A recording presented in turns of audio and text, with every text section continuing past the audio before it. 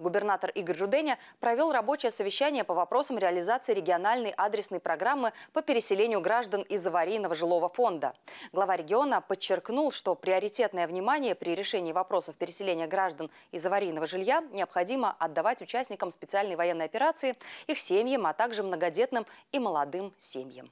Чтобы реализация программы шла эффективнее, региональное правительство предприняло ряд мер.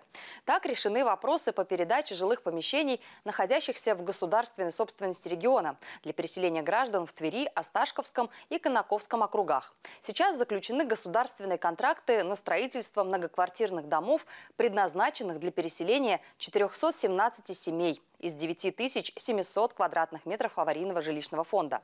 Начато строительство многоквартирных домов в Сележаровском округе и поселке Спирово, в Осташкове и Пена.